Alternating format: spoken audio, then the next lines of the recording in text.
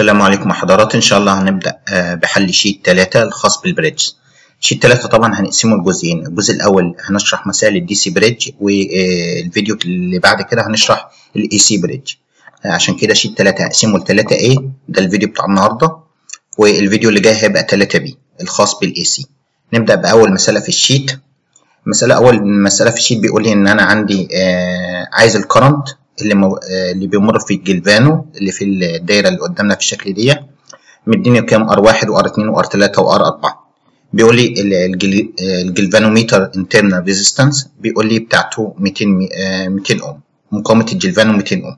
طبعا دي الرسمة عندي أدي R1 و R2 R3 و R4 وال galvano في النص هنا والبطارية عندي 6 فولت.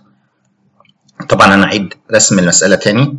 هتبقى بصورة أوضح. أدي ار1 وار2 ار3 وار4 هسمي النقطة دي A والنقطة دي B وهنا C و D والبطارية عندي E 6 فولت. هكتب قيم المسألة عندي أو القيم اللي موجودة في المسألة؟ R1 1 كيلو R2 1 6 من 10 كيلو R3 3 ونص كيلو R4 7 ونص كيلو. RG 200 أوم عايز IG هو التيار بيمر في ال galvan. البطارية عندي 6 فولت. طبعا بالشكل ده ما أقدرش أجيب تيار ال galvano لازم أحوله لدايرة 7 دايرة 7 هي الدايرة المكافئة للدايرة اللي قدامنا دي. طبعا عشان أحل مسألة زي كده مباشره بدل ما أحول الدايرة ل Thevenin وأخد وقت أعمل check لل condition بتاع ال balance عندي. ممكن تبقى الدايرة balance فكده باخد وقت طويل جدا وفي الآخر تطلع الدايرة balance في الأول أعمل check لل condition بتاع ال balance ال balance بيقول لي إن حاصل ضرب كل مقاومتين متقابلتين بيساوي حاصل ضرب المقاومتين الباقيين تاني يبقى R واحد في R 4 دول اللي بيقابلوا بعض بتساوي R 2 في R 3 ده ال condition. يبقى هنقول R1 في R4 ضربت R1 في R4 طلعت ب 7 ونص. طبعا هنا كيلو اوم وكيلو اوم فمش هحط واحدة ولا حاجة هنا. هضرب R2 في R3 طلعت 5 و6 من 10 القيمة واحد أو المعادلة واحد لا تساوي المعادلة 2 يبقى ما فيش عندي balance يبقى لازم ألجأ لمين؟ ل 7 عندي. 7 دايرة 7 أو الدايره المكافئه أنا عايز تيار الجلفانو. فأنا الجلفانو اللي عندي ده بيبقى في ال bridge عندي بشيله هنا وبحطه إيه؟ في دايرة مكافئه في 7 أهو. بجيب مقاومة اسمها R7 و V7 تبقى الدايرة عندي بسيطة عندي. يبقى أنا كل اللي عايزه V7 و R7 مباشرة الدايرة دي بسيطة. أقدر أجيب ال IG اللي هو تيار جلفانو اللي بيمر في في الدايرة دي. فاجيب V7 إزاي؟ الدايرة اللي فوق دي زي ما أنتم شايفين كده. عشان أجيب V Thevenin بشيل ال load. الجلفانو هنا يعتبر load. بشيله بحط نقطتين مفتوحين. فالنقطتين المفتوحين دول بروح أجيب ال V7 عليه. يبقى النقطتين المفتوحين أهو بجيب في 7 عليه. والدايرة هي نفس الدايرة ما فيش اختلاف. الفي 7 هو عبارة عن إيه؟ الفولت بين النقطة A و B. معروف الفولت بين النقطة A و B أو اسمه VAB بيساوي فولت A ناقص فولت B. فولت A ناقص فولت B. فبضيف هنا D D يبقى VAD ناقص VBD يبقى فين VAD اللي هو فولت على المقاومة R3 ناقص الفولت اللي على المقاومة R4 أو عندي الفولت A ناقص الفولت B. هاخد مين؟ هاخد نقطة C عامل مشترك. يبقى هيبقى في سي A ناقص في سي B. أو هو ال V7 بيساوي VCA اللي هو جهد المقاومة R1 ناقص جهد المقاومة R2 يبقى ممكن تحل بالطريقة اللي فوق أو اللي تحت. طب ال VAD بيساوي إيه؟ الجهد على المقاومة اللي هو R3 بيساوي إيه؟ قيمة البطارية في قيمة المقاومة R3 على مجموع R1 زائد R3 لأن R1 زائد R3 في البرانش ده توالي. فيديني قيمة البطارية في R3 على R1 زائد R3 عوضت بقيمة البطارية 6 وقيم المقاومات طلعت عندي 4.6 من 10 فولت. VBED VBD الفولت بين B و D هو فولت المقاومة R4 ما تنساش لو أنت بتجيب الفولت على R3 لازم تجيب فولت على المقاومة R4 لازم تطبق في القانون ده. يعني ما ينفعش واحد يجيب فولت المقاومة R3 وفولت R2 وتروح من بعض غلط. لازم أطرح VAB اللي هو فولت المقاومه R3 ناقص فولت المقاومه R4 فولت المقاومه R4 اللي هو فولت BD بيساوي قيمة البطارية هتبقى EE R2 و R4 توالي. هضرب البطارية في R4 على R2 زائد R3 آه sorry R4 على R2 زائد R4 طبعا أنا عوضت بالقيم طلعت 4.9 من 10 فولت. هطرح القيمتين من بعض. يبقى ال V7 هو طرح القيمتين من بعض. طلعت عندي تقريبا 27 من 100 فولت. ده V7 ده أول حاجة في الدايرة دي. يبقى جبت V7 يبقى أجيب R7 بعد كده. R7 أنا أجيبها إزاي؟ أول حاجة دي ال bridge عندي. أرجع تاني للشكل الأساسي. ده الشكل الأساسي بتاع الدايرة. أنا الجلفانو ده بعمله open عايز R Thevenin على طرفيه بعمل له open بجيب R Thevenin على طرفيه هجيبه إزاي؟ أول حاجة بيقول لك مكان ال load اللي أنت عايز تشيله اللي هو الجلفانو وبحط بطارية وهمية. حط بطارية وهمية ونفس الشكل.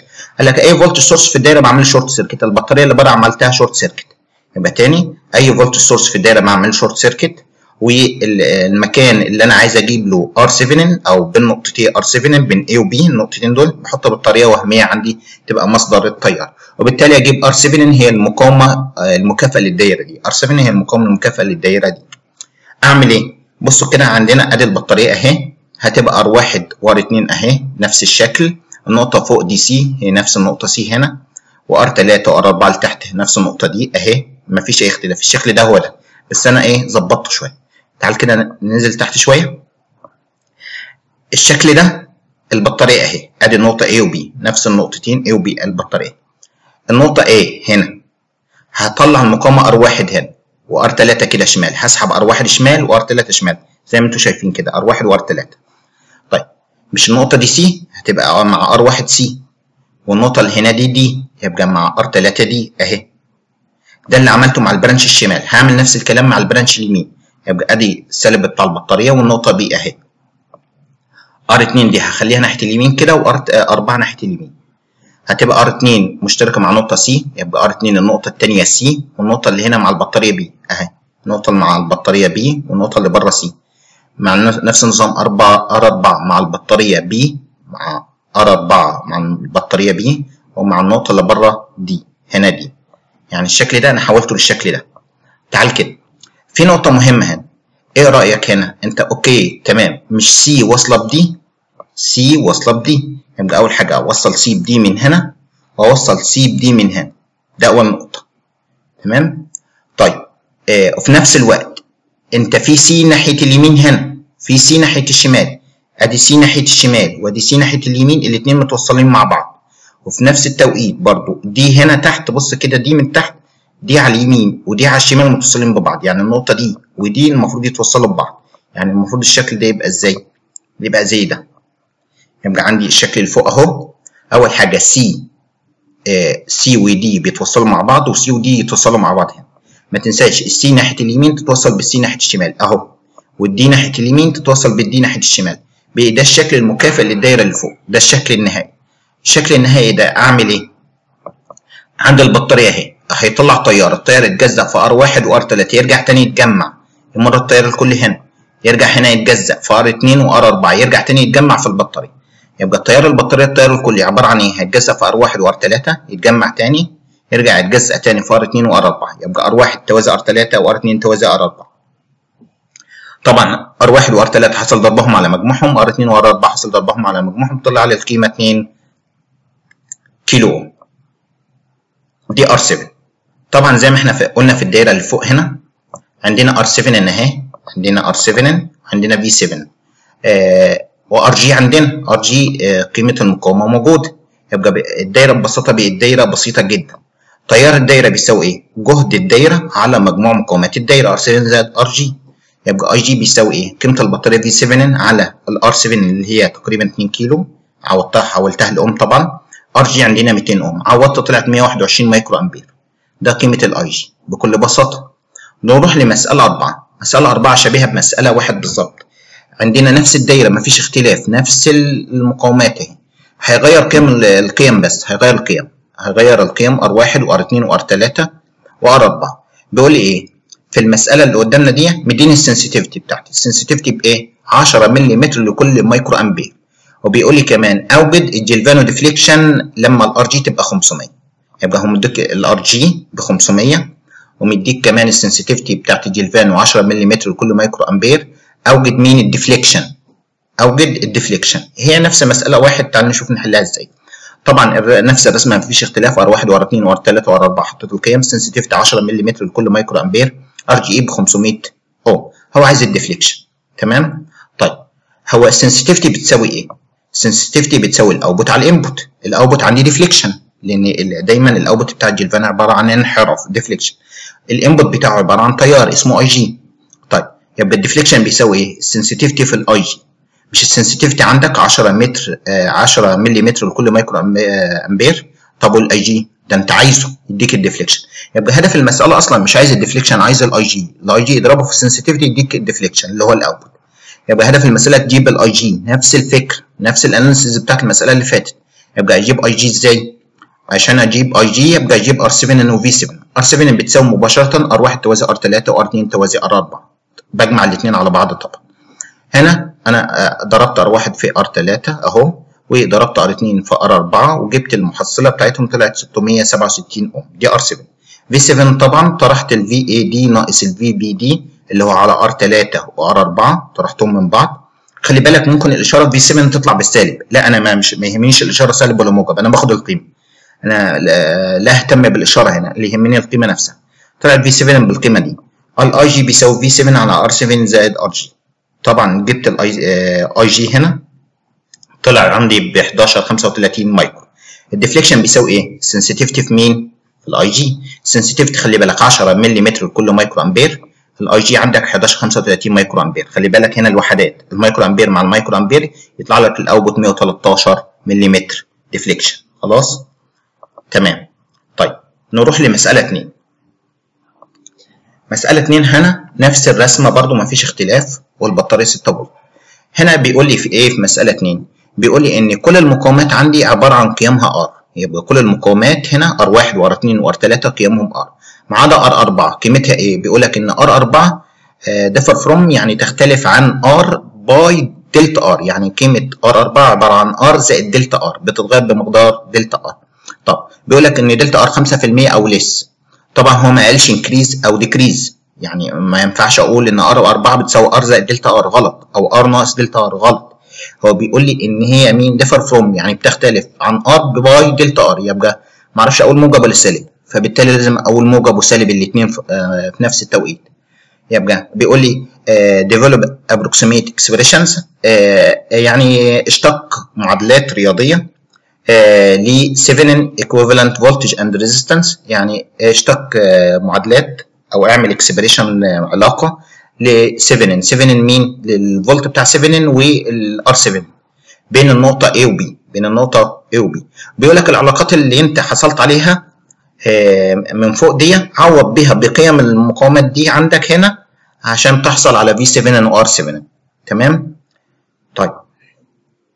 بس خلي بالك هنا عايز مين؟ عايز التيار خلال الجلفانو عايز تيار خلال الجلفانو نروح للرسمه تاني. أنا قعدت رسمه رسمه تاني. R1 و R 2 R 3 R 4 وادي البطارية نفس الرسمه مفيش اختلاف. R 1 R 2 R 3 بيساوي R. R 4 بتساوي R زائد وموجب delta R زي ما قلنا. طبعا ال R هنا بالأوم وال delta R بالأوم. خلي بالك هنا كل الوحدات بالأوم. هو عايز expression لل V Thev و R Thev كمان عايز ال IG تيار الجلفانو لما R 1 و R 2 و R 3 بيساوي 500 اوم و R 4 بتساوي 525 اوم و RG 125 اوم آه بكل بساطة هنروح للدايرة هنجيب V7 V7 بين A و B بيساوي إيه؟ V7 VAB أو VAD ناقص VBD أو فولت على المقاومة R3 ناقص فولت على المقاومة R4 طيب. يبقى بيساوي البطارية في قيمة R3 على مجموع الاثنين لأن ده voltage divider وال branch ده voltage divider يبقى البطارية في R4 على R2 آه زائد R4 خلي بالك في طرح لأن أنت بتطرح تعال نعوض قيمة البطارية أنا خدت قيمة البطارية عامل مشترك طبعا هنا قيمة البطارية بره أهو R 3 هو بيقول لك إن كل المقاومات دي R 1 و R 2 و R 3 بيساوي R أما R 4 بتساوي R plus minus دلتا R إحنا قلنا plus minus عشان إيه؟ هو ما قالكش increase ولا decrease فأنا حطيت plus minus هنعوض R R 3 ب R و R 1 و R 3 R و R. هنعوض ب R 4 ب R plus minus دلتا R و R 2 ب R و R 4 R plus minus دلتا R. تعال كده هتلاقي R على 2 R فيها النص. هتلاقي هنا R زائد plus minus دلتا R وعندك هنا R و R تبقى 2 R plus minus دلتا R. خلي بالك دلتا R دي بالاوم هنا. وحدة الدلتا R بالاوم طيب. خدنا في في قانون في chapter ال errors إن R 4 لما بتساوي R plus و minus دلتا R plus و minus دلتا R طيب لو أنا عايز أقلبها percentage عايز أقلبها percentage أكتبها إيه؟ تبقى R 4 بيساوي R بالأوم plus و minus دلتا R لو قسمتها على R دلتا R لو قسمتها على R هنا هيديني دي نسبة مئوية percentage وهقول إن دلتا R على R percentage بيساوي دلتا رمز اسمه دلتا يبقى الدلتا هو مين؟ ال percentage بتاع الخطأ ال error. فانا اعمل إيه؟ بصوا معايا كده. في 7 اللي فوق دي هنا. هنا في عندي R تمام؟ وعندي R هقسم المعادلة دي كلها بسط ومقام على R هقسم هنا بسط على R ومقام على R أكني ما عملتش حاجة. النص طبعا مش هاجي ناحيته تمام؟ النص زي ما هو. يبقى هتبقى إيه؟ عندنا إيه؟ أهو في نص ناقص. الجزء الأولاني هنا R قسمته على R بقي فيه واحد. plus minus. دلتا R على R تحت مكتوب 2 R هقسمها على R تبقى 2 بس. plus و minus دلتا R على R طب دلتا R على R دي مش percentage نسبة مئوية. هشيلها أحط مكانها إيه دلتا. دلتا. وده أول علاقة عندي. دي أول علاقة هو عايزها. ده أنت لو اشتغلت على مين؟ على على المقاومة R 3 و R 4 لو أنت اشتغلت في ال bridge على R 3 و R 4 دي. طب في واحد هيشتغل على R 1 و R 2 R 1 و R 2 هيروح يطبق القانون ده. يبقى في 7 عندي. ممكن تبقى إيه؟ في اي بي اللي هو في سي اي ناقص في سي بي آه صح مفيش مشكلة. يساوي جهد البطارية في قيمة المقاومة R 1 على R 1 زائد R 3 لأن الاثنين توالي ناقص R 2 لأن أنت هتجيب على R 2 على R 2 زائد R 4 طيب R دي 1 ب R. R 1 و R 3 ب R. R زائد R يديك 2 R R 2 ب R ما اتغيرتش. ار 2 بار. ار 4 بار زائد وبلس وماينس خلي بالك دلتا R plus و minus دلتا R طيب هنا R وهنا 2 R تمام؟ العلاقة خلي بالك ما زالت دلتا R هنا بالاوم هقسم بسط ومقام هنا على R يبقى هنا V Thev بيساوي بطارية في نص بره أهي ناقص. البسط R على R يديك 1 2 R على R يديك 2 plus minus. دلتا R على R يبقى دي هي دي الدلتا اللي أنا اعوض عنها. دي الدلتا اللي هي خلي بالك percentage وليست اوم يعني وحده دي percentage يعني نسبة مئويه تمام؟ زي ما أنا قلت أهو دلتا بال percentage يبقى انت ممكن تختار العلاقة اللي فوق أو العلاقة اللي تحت. العلاقة رقم كام؟ آه علاقة رقم آه اللي فوق دي اللي هي هنا دي أو العلاقة دي لو انت حليت بالطريقة الثانية الاثنين صح ما فيش مشكلة. ار 7 بتساوي إيه؟ قلنا ار 7 بتساوي ار 1 توازي ار 3 زائد ار 2 توازي ار 4 تعال نعوض. يبقى حصل ضربهم على مجموع. هنعوض R 1 و R 3 كل واحدة ب R R 2 هنعوض عنها ب R R 4 عبارة عن إيه؟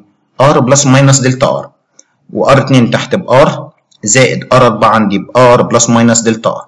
تعال R في R على 2 R يديك R على 2 زائد. عندك هنا R خدتها بره أهي. R plus minus دلتا R أهي.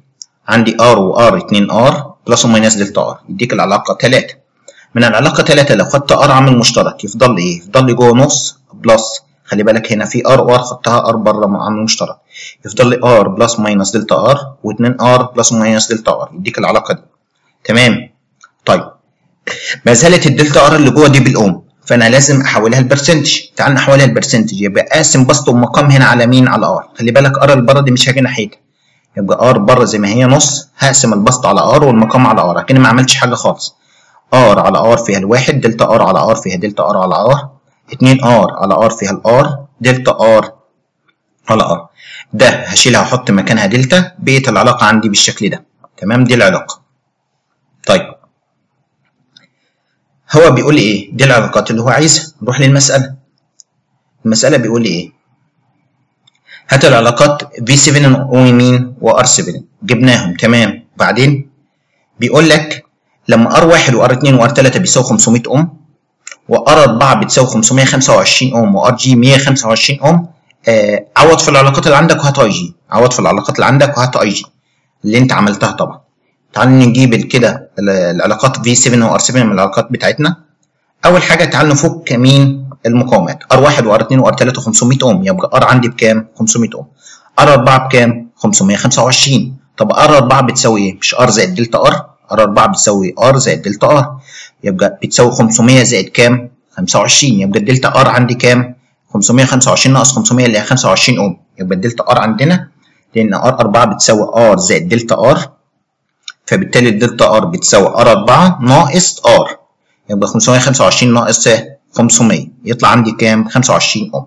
طب في العلاقات اللي أنا جايبها بعوض بدلتا R كأوم ولا percentage لا ده أنا بعوض بالدلتا percentage زي ما أنتم شايفين. الدلتا دي percentage فأنا أجيب دلتا. الدلتا بتساوي إيه؟ دلتا R على R الدلتا R اللي هي قيمتها 25 أوم على ال R ما زالت قيمتها 500 ما تنساش قيمتها كام؟ 500 طيب يبقى عندي ال R ب 500 وكده هنعمل إيه؟ طلعت بخمسة من 100 5 من 100 عوض في العلاقات اللي فوق. عوض في العلاقة الخاصة بالفولت على R3 و R4 اللي هو العلاقة الأولى أو الفولت على R1 و R2 اللي هو العلاقة الثانية زي ما إحنا شفنا نفس الفولت ما فيش اختلاف. و R7 أعوض في علاقة بتاعت R7 آه طلعناها ب 506 أوم ما فيش أي اختلاف. دايرة 7 ببساطة اللي هي فولت 7 و R7 وده RG الاي جي بيساوي V7 على R7 زائد RG V7 طبعا طلعناها من فوق أهي. وعندنا R7 عندنا 506 طلعناها من العلاقة اللي فوق. و RG مديها 125 طلع IG 116 مايكرو أمبير. دي كانت المسألة ببساطة.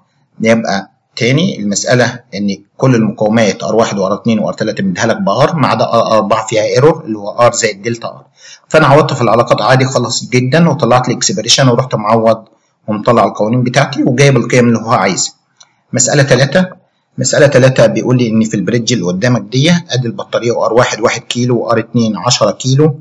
و R 3 متغيرة و R 4 دي هيقول لك قيمتها دلوقتي بيقول لك إن ال DC bridge دي هستخدمها عشان أقيس مقاومة انون من المقاومة اللي اللي هي R 4 و R 3 بتبقى variable ومتغيرة. فبيقول لك إيه؟ بيقول لك إيه هو ال range بتاع R 3 عشان أقدر أقيس مقاومة unknown ال range بتاعها من 1 ل 100 كيلو. تاني؟ يبقى إيه هو ال range بتاع المقاومه R 3 اللي يخليني أقيس مقاومة انون المقاومة الانون اللي هي R 4 ال range بتاعها من 1 ل 100 كيلو. أعمل إيه؟ رحت أنا رسم رسمة تاني. هنا ار 1 وار 2 وار 3 وار 4 وار 3 متغيره خلي بالك. ودي galvano دي R 1 1 كيلو R 2 10 كيلو. قلت إن R 4 بتتغير من 1 ل 100 كيلو. يبقى R 4 دي unknown بتتغير من 1 ل 100 كيلو. بيقول لك إن أنا عايز أحط مقاومة متغيرة اسمها R 3 ال range بتاعها كام؟ عشان يقدر يقيس لي مقاومة اسمها R 4 ال range بتاعها من 1 ل 100 كيلو. اعمل إيه؟ أول حاجة أقول له في ال balance condition. ال balance condition قلنا حاصل ضرب كل اثنين متقابلتين بيساوي بعض. يبقى R 1 في R 4 بيساوي R 2 في R 3 R 3 هي المجهولة. هي هي R 3 هي اللي أنا عايز ال range بتاعها. تمام؟ يبقى R 3 بيساوي R 1 في R 4 على R 2 طيب. R 4 عندي ليها كام range؟ من 1 ل 100 كيلو. ال minimum 1 كيلو. يبقى أقول له R 4 لما تبقى 1 كيلو أعوض هنا. اعوض هنا 4 1 كيلو يطلع لي R 3 تطلع إيه؟ 1 لأن R 1 1 كيلو R 4 ب 1 كيلو R 2 ب 10 كيلو. طلعت 1 من 10 كيلو اوم يبقى R 3 10 sorry 1 من 10 كيلو اوم نروح بعد كده لما R 4 تبقى عندي 100 كيلو ال maximum بتاعها يبقى R 3 هقول هي R 1 1 كيلو في R 4 اللي هي 100 كيلو على 10 كيلو تطلع لي 10 كيلو اوم ده ال maximum بتاع R 3 يبقى R 4 اللي هي unknown المقاومة unknown ال range بتاعها لما يتغير من 1 ل 100 كيلو أنا عايز مقاومة متغيرة اسمها R 3 ال range بتاعها من 1 من 10 كيلو ل 10 كيلو. يبقى R 3 ال range كده من 1 من 10 ل 10 كيلو. طبعا أنا بستخدم ال DC bridge هنا عشان أقيس مقاومة انون زي ما أنتم شايفين كده. طيب. نروح لمسألة خمسة ودي آخر مسألة في ال DC bridge ودي تعتبر من أهم تطبيقات ال DC bridge عندي مش كامتحان ولكن كتطبيقات عملية. آه في حاجة اسمها Varley loop test Varley loop test بيستخدم آه في قياس الكابلات اللي تحت الأرض لما يحصل فيها مشكلة يحصل short circuit في حتة معينة. تمام؟ طيب في الرسم الموضحه في الشكل هنا. طبعا أنا رسمت رسمة تانية هنا عشان تبقى واضحة شوية. بيقول لي بيقول لي ان عندي Wheatstone bridge connected for Varley loop test بيقول لي إن ال switch S ده اللي هو S اللي هنا ده هنشرح الرسمة دي. بيقول لك لو كانت على ال position A ال bridge بتبقى balanced بيقول R 3 وقتها كانت 53 اوم يعني عندنا R 1 و R 2 R 3 دي متغيرة. بيقول لك أنا عشان S ده يبقى على A على ال position A R 3 دي كانت 53 اوم بيقول لك لما ال switch S كان على ال position B لما أنا نقلته على ال position B نقلته على ال position B هنا بيقول لك إن R 3 دي بقت وقتها 52 و9 من 10 اوم تمام؟ بيقول لك إيه هي المسافة؟ How many from the bridge has a short to ground? occurred بيقول لي إيه هي المسافة؟ خلي بالك المسافة اللي هي دي X إيه هي المسافة اللي من ال bridge ده ال bridge عندي. إيه هي المسافة اللي هي X دي من ال bridge الحتة الصغيرة دي؟ اللي بيقول لي short to ground يعني حصل لها short لل ground if the resistance of the short wire is واحد من 100 اوم لكل متر. يعني عايز المسافة اللي حصل فيها شورت لما تكون مقاومة الشورت آه واحد من 100 اوم لكل آه لكل متر. طيب. تاني أنا هعمل آه analysis للمسألة كده ببساطة. تعالوا نبص مع بعض كده. دي الرسمة. عندنا R1 و R2 وعندنا R3 متغير. عندي اتنين position A و B. وادي ال switch اسمه S. وعندي بطارية قيمتها 6 فولت. بيقول لي إيه؟ بيقول لي إن عندي كابل. طبعا الكابل بيبقى طرفين رايح جاي. فأدي الكابل رايح جاي. قيمة مقاومة الكابل رايح اسمه R A قيمة مقابلة قيمة مقاومة الكابل جاي اللي هو راجع R B اللي هي المسافة من هنا لهنا. دي كلها R B خلي بالك. دي كلها R B تمام؟ لغاية النقطة دي. والحتة دي طبعا ده wire خاص بال bridge ده. تمام؟ يبقى من النقطة دي لدي R B ومن النقطة دي لدي R A بيقول لي هنا لما أنا R واحد عبارة عن 1000 أوم أو 1 كيلو R 2 ب 100 أوم. دي الدايرة اسمها Varley loop test بيقول لي عند ال position A لما أنا أبقى على ال position A position A يبقى طرف الأرض ده مفصول. في أرض هنا في الدايرة ده أكنه مش واصل خالص. طول ما أنت على A يبقى دي مفصولة والحتة دي مفصولة. تمام؟ بي bridge عادي بي R واحد و R 2 وبي R 3 وبي إيه هنا النقطة ده ده كله بقي دراع واحد شايف؟ R A و R B ده بقي دراع واحد أكنه بقي مقاومة واحدة. تمام؟ طيب بيقول لك ال bridge is balanced و R 3 53 اوم طب عند ال position B بيقول لك برضو ال bridge balanced و R 3 كانت 52 و9 من 10 أوم.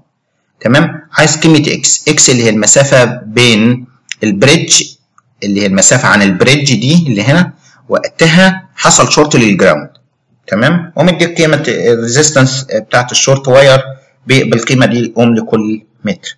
تعال مع بعض كده. عندي اتنين position position A position A يبقى الأرض ده مفصول والطرف ده مفصول. لأن الأرض ده هيبقى مفصول. لما أوصل A كده بال bridge عندي R واحد R 2 و R 3 والدراع ده R A زائد R B ده كله على بعضه ده دراع واحد. ليه مقاومة واحدة؟ هنا هيحصل balance balance يبقى أضرب المقاومه R واحد في المقاومه اللي قبلها اللي هي R A زائد R B بتساوي R 2 في R 3 تعال كده مع بعض. position A. يبقى عندي ال position A. ال balance بيقول إن R واحد في المقاومه اللي في الدراع اللي قبلها. الدراع اللي قبلها R A زائد R B يساوي R 2 في R 3 R 2 و R 3 عندك اللي هي تقريبا 1100 وعندك R واحد آه sorry R 2 ب 100 و R 3 ب 53 اوم عندك R واحد ب 1000 آه طلعت R A زائد R B طلعت 5.3 من 10 اوم من القانون ده أو من العلاقة دي. تعال مع بعض كده. عند ال position B لما أنت تنقل على ال position B يبقى النقطة دي اتوصلت بالأرض. حلو؟ الأرض ده رايح فين؟ خلي بالك الأرض هنا. شايف الأرض في الحتة دي؟ طيب الأرض هنا. النقطة دي هي اللي هتوصل بسالب البطارية. يبقى النقطة دي هي اللي هتوصل بسالب البطارية. الأزرق بتاعت ال bridge عبارة عن إيه؟ R واحد R 2 الدراع اللي هنا عبارة عن إيه؟ ما بقيش R A زائد R B لا ده بي R A زائد جزء من R B يبقى بي A R A زائد جزء من R B تمام؟ طب و R X دي هتبقى اتضافت فين؟ هتبقى اتضافت على R 3 يبقى R X دي هتبقى اتضافت ناحية R 3 ليه؟ لأن قلنا ال switch ده هتوصل ب B بالنقطة B دي الأرض هنا يجي الطرف ده جاي هنا كده يبقى واصل بالحتة دي. لما يوصل بالحتة دي يبقى الجزء ده هيبقى اتضاف مع ده. بقي ده دراع. و R A وجزء من R B بقي دراع تاني خالص. تمام؟ طيب. هتبقى R 3 زائد R X دي دراع. طيب الجزء ده عبارة عن إيه؟ الحتة دي عبارة عن الكلية اسمها RB اللي بره كلها ناقص RX يبقى RB كلها ناقص RX يديك الحتة اللي هنا دي. يبقى الحتة اللي هنا عبارة عن RB ناقص RX والحتة اللي هنا دي اسمها RX تمام؟ هيبقى عندي هنا مقاومة الدراع ده عبارة عن إيه؟ RA اللي فوق زائد الجزء ده عبارة عن RB الجزء ده عبارة عن RB ناقص RX و RX اللي هنا دي هتضاف مع R 3 يبقى نروح كده عند ال position B هيبقى عندي إيه؟ R 2 في الدراع اللي قبلها الدراع اللي قبلها تعال نشوف كده. يبقى R 2 في الدراع اللي قبلها الدراع اللي قبلها R 3 زائد RX R 3 زائد RX تمام. R 1 هتتضرب في مين؟ R 1 هتتضرب في RA زائد الحتة دي الحته دي اللي هي RB ناقص RX لأن RB اللي هي الدراع كله ده ده كله الجزء ده RB والحتة دي RX يبقى الحتة دي عبارة عن إيه؟ الكل ناقص الجزء ده. تبقى R واحد في افتح قوس RA زائد RB ناقص RX دي الحتة الصغيرة اللي إحنا قلنا عليها. تمام؟ طيب RA زائد RB هنا أنت جايبها من فوق 5 3 من 10 أوم. عوضت عنها. طيب R 3 عندي قيمتها 52 و9 من 10 أوم. طيب هفك المعادلة دي. بعد ما افكها خالص هيطلع عندي RX بكام؟ 9 و9 من 100 في 10 اس سالب 3 اوم لاحظ إن قيمة المقاومة هنا صغيرة جدا.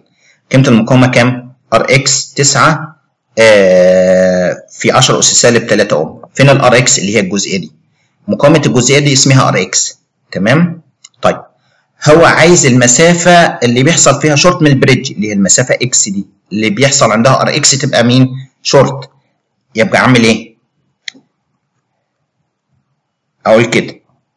R short هو مديها لي. R short بيقول لي ال short resistance للارضي آه عبارة عن إيه؟ بيقول لي إن هي القيمة دي أوم لكل متر. أوم لكل متر يعني إيه العلاقة دي؟ يعني RX على X RX يعني مقاومة RX على X اللي هي المسافة. اللي هي ال X المسافة عندي. طيب R short اللي هي القيمة دي. طب RX انت جايبها من فوق.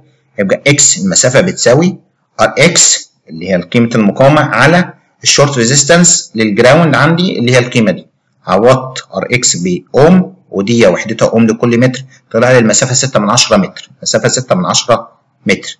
ده كان من أهم تطبيقات ال DC bridge وكان دايما بيجي سؤال في العملي يقول لك آه اذكر آه تطبيقات DC bridge انت كنت بتقول إن بقيس مقاومة انون أيوه مقاومة انون بيبقى كيبل في الأرض.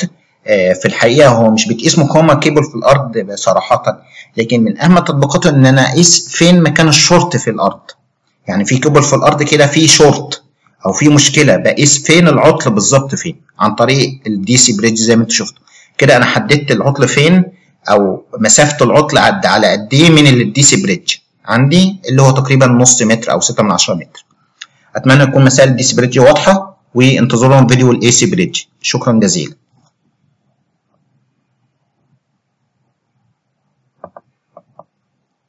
Yeah.